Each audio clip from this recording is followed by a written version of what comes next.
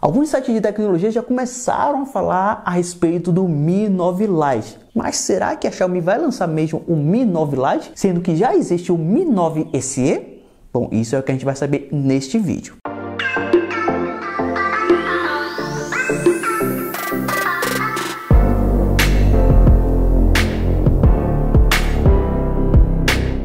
E aí galera, tudo beleza? O Anderson Conceição aqui do canal Meu Smartphone. Como eu falei no início do vídeo, já surgiram algumas informações a respeito do Mi 9 Lite, que provavelmente vai ser uma versão global do Mi CC9, que foi lançado algum tempo atrás. Vocês viram que a Xiaomi lançou o Mi A3 baseado no Mi CC9e, uma versão mais econômica que vem com processador Snapdragon 665 e esse Mi 9 Lite provavelmente vai vir com processador Snapdragon 710. Então, de acordo com essas informações, a gente pode concluir que o Mi 9 Lite vai ter as mesmas características técnicas do Mi CC9. E quais são as características técnicas do Mi CC9? Bom, se vocês acompanharam o lançamento e viram no dia do lançamento do aparelho, vocês provavelmente sabem que o aparelho vem com basicamente, né, com display AMOLED com resolução Full HD, ao contrário do Mi A3, né, que foi lançado com um display AMOLED, só que com resolução apenas HD HD+. Então esse Mi 9 Lite vai ser um modelo mais parrudo em contrapartida com o Mi A3. Inclusive o Mi 9 Lite vai vir com a MIUI, né, com a interface de usuário modificada e não como o Android puro que vem no Mi A3. Então além do display AMOLED com resolução Full HD+,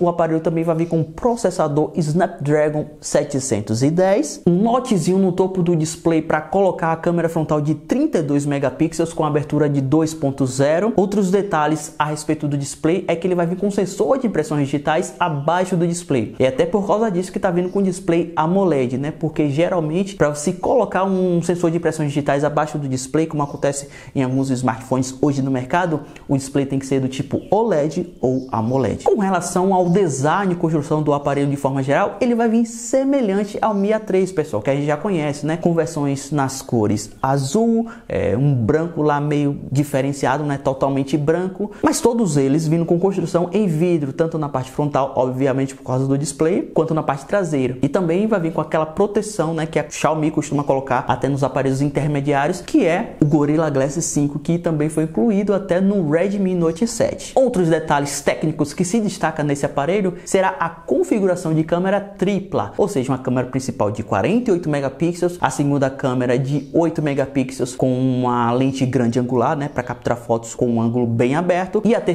câmera não vai servir para muita coisa. Vai ser específica para capturar fotos no modo retrato e é apenas 2 megapixels. Então é besteira essa câmera. Então, como eu falei, né, ele vai vir também rodando no Android Pie, né, com as modificações baseadas na MIUI 10 ou quem sabe já vai vir com a MIUI 11, né, baseada no Android 10. Isso a gente só vai saber no lançamento oficial do aparelho, mas eu duvido muito. Eu acredito que a Xiaomi já estava preparando há algum tempo esse aparelho e possa ser que ela apresente com a MIUI 10 mesmo, baseada no Android Pie. Outros detalhes também com relação à bateria, né? A bateria vai ser exatamente a mesma capacidade que está colocada no Mi A3, ou seja, 4030 mAh, com suporte a carregamento rápido, que eu não sei ainda se a Xiaomi vai colocar o adaptador de carga rápido incluso já no pacote de compra. Como é um aparelho intermediário, vai ser difícil a Xiaomi colocar, mas se vir vai ser com um adaptador de 15 ou 18 watts no máximo. Outros recursos extras incluem o NFC e também entrada para fone de ouvido padrão, né, de 3,5 milímetros. A Xiaomi corta isso em alguns smartphones, já em outro inclui.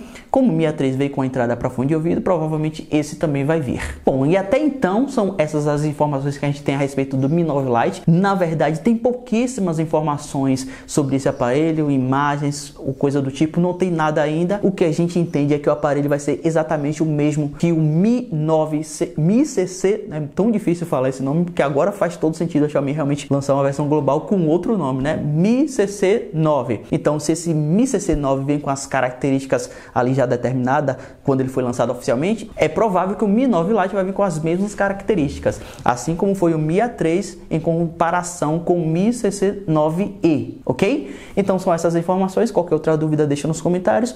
Eu vou ficando por aqui. Espero trazer mais informações acerca do Mi 9 Lite. E é isso. Vou ficando por aqui. Um grande abraço e até a próxima.